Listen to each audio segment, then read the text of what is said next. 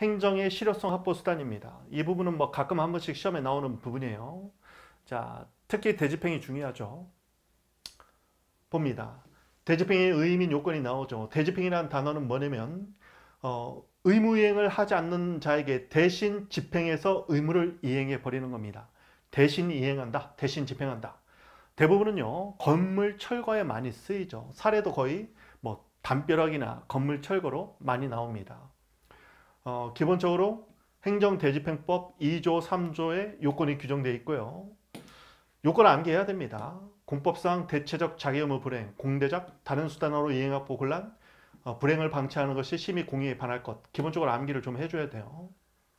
어, 그리고 절차는 개통실비죠. 개고 영장통지 실행. 이 실행이 권사입니다. 비용 징수, 비용 납부 명령이 나와요. 급부 하명이 되겠죠. 개고는 준법률행위자 행정행위 중에 통제행위고 영장통지도 마찬가지입니다. 준법률행위자 행정행위 중에 통제행위예요. 실행은 권사, 비용 징수는 돈 내라, 비용 납부 명령이 나오니까 급부 하명입니다. 자, 요건과 우회권 실체 요건, 두 번째는 절차 요건 알아두셔야겠습니다.